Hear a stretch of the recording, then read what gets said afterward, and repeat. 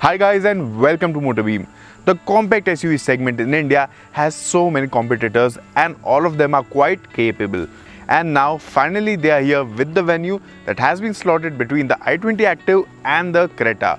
Now the pricing of the Hyundai Venue is surely very attractive. But is the car really worth a buy and can it stand up to its capable rivals? Well, time to find out.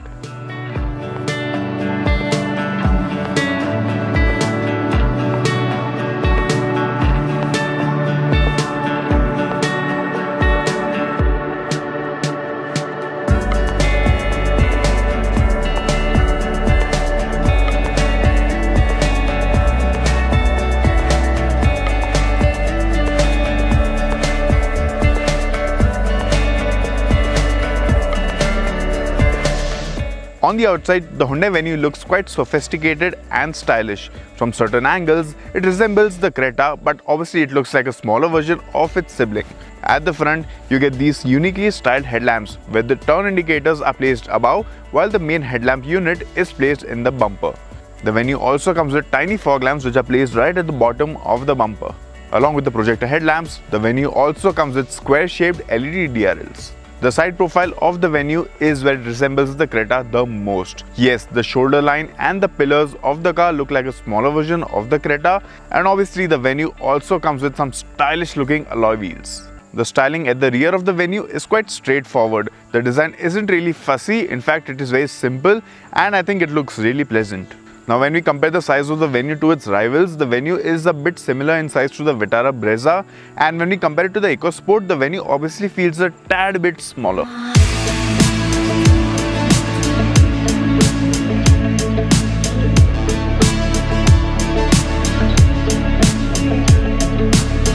Now that we are done with the styling of the venue, I think we should get going with the interiors because people have a lot of hopes from this one. Talking about the materials used inside the cabin, well the quality is typical Hyundai. It isn't bad, in fact it is better than some of its rivals and I think it is pretty well built for this price. The plastics on the dashboard and door pads are obviously hard, but they don't really feel cheap in quality. The design of the dashboard is quite user-friendly and functional.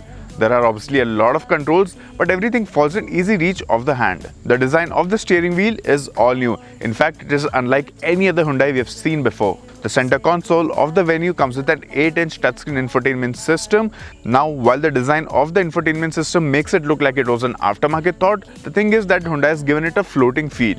So the Hyundai Venue comes with a lot of features. In fact, the equipment list is really long.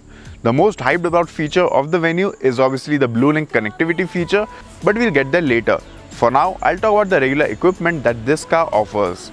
The Hyundai Venue comes with a sunroof, it gets cruise control, it has keyless go with push button start, it has electrically adjustable and folding mirrors, and obviously it has automatic climate control. The 8-inch touchscreen infotainment system comes with a variety of options like Bluetooth, USB, Apple CarPlay, Android Auto, and inbuilt navigation. Now, the sound quality from the audio system isn't very great. I mean, it is pretty good and will suffice most of the customers. However, it isn't something that would please an audiophile's ears. In terms of safety, ABS and dual front airbags are standard on every variant of the Venue. The top variant comes with 6 airbags on offer. However, the funny thing is that the petrol automatic variant that is with the new petrol engine comes with only 2 airbags even on the top variant. While the top variant with the other engines is called the SXO, on the petrol automatic, it is actually called the SX Plus trim and it misses out on leather seats, 4 airbags, that is you get only 2 airbags as standard and a rear wiper.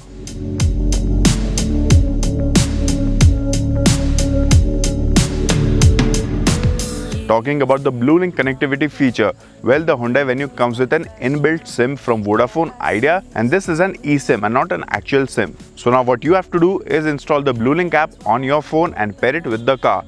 With this, you can control a plethora of functions. The BlueLink has a lot of cool features such as you can switch on the ignition of the car by sitting in the comfort of your home or office. You can switch on the AC before coming to your car so that it cools up while you arrive and you can even track the position of your car.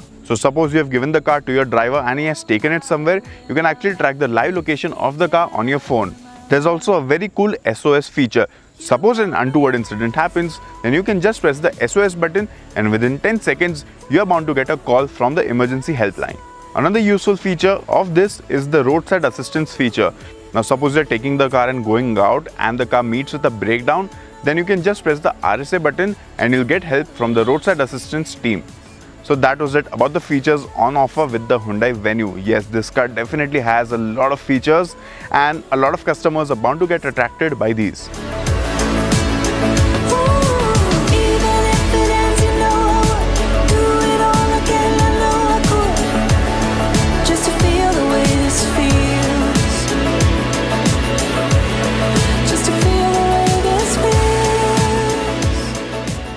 Now when we talk about the seats, the front seats are very snug and comfortable. They offer very good comfort and even the side bolstering is quite good. The seats actually a good place to be in and even the driving position is very good. You actually get a good view of the road ahead and the bonnet is also placed quite high. Moving on to the rear seat, well space at the rear is definitely limited. Yes, this car is more a 4-seater than a 5-seater but obviously you can squeeze in a child in between. Knee room at the rear is a bit limited due to the length of the car and the high boot space on offer. Shoulder space and headroom are pretty good and even though space at the rear is limited, the seats are again very nice and comfortable. Storage spaces in the cabin of the Hyundai Venue are abundant and even the boot space is quite good.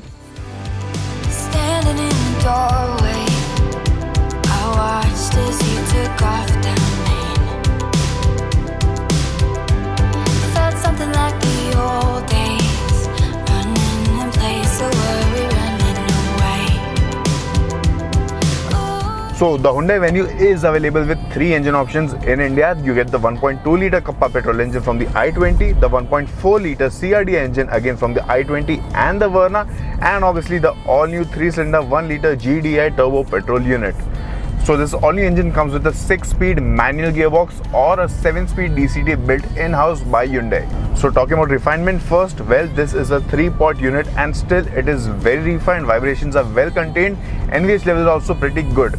This engine has a lot of turbo lag lower down. So once the turbo starts spooling, you get a good surge of power all the way to the red line. So now this power surge isn't very sudden, it isn't very spiky either. In fact, it is very linear and it doesn't push you back in the seat. Overtaking other cars on the highways takes some time because the turbo lag is very apparent and you really need to wait for the power to kick in. But once the engine gets going, touching high speeds isn't very difficult. So now this engine redlines at about 6500 rpm. It likes being revved and it also sounds pretty good near the red line. Talking about the 7-speed DCT, well this gearbox is smooth, it is lag free. However, it isn't as quick as say a DSG. It still does its job very nicely. However, you don't get a sport mode, neither do you get paddle shifters you do get a manual Tiptronic mode and that comes in to be quite useful on the highways.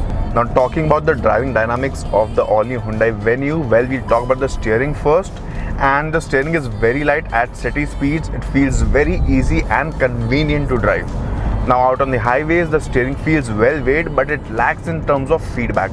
I mean it doesn't provide the same kind of feedback that you would probably get from a Vitara Brezza or the EcoSport. The car has good body control. Obviously, there's some amount of roll when you hit corners really hard and it isn't really scary. In fact, this car has pretty good dynamics. You can't really call it as engaging as the EcoSport to drive, but overall, this should keep you happy. In terms of ride quality, well, the suspension of the Hyundai Venue is pretty much well sorted. It tackles all the potholes and bad patches of roads very easily. Also, at high speeds on the highways, we obviously felt some up and down movement, which gets a bit discomforting. But overall, there's no issue with the ride quality as such and in terms of ride and handling balance the venue is pretty good but the issue is that it doesn't really excel in either of those. The brakes of the Hyundai Venue offer a very sharp bite and the stopping power is actually quite good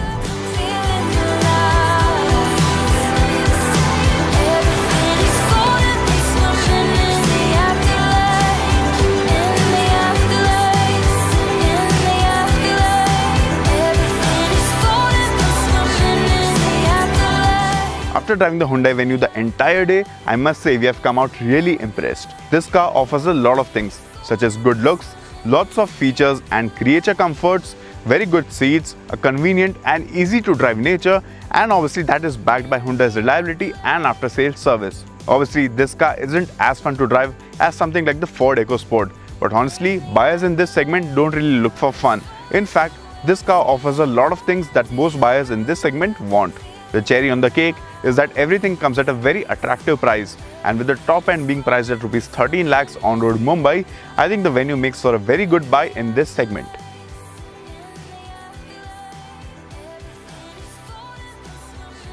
Thank you guys for watching this video. Do let me know in the comment section what do you think about the Hyundai Venue and whether you will pick this car over its rivals. Do hit the like button, share the video with your friends and don't forget to subscribe to the Motorbeam channel.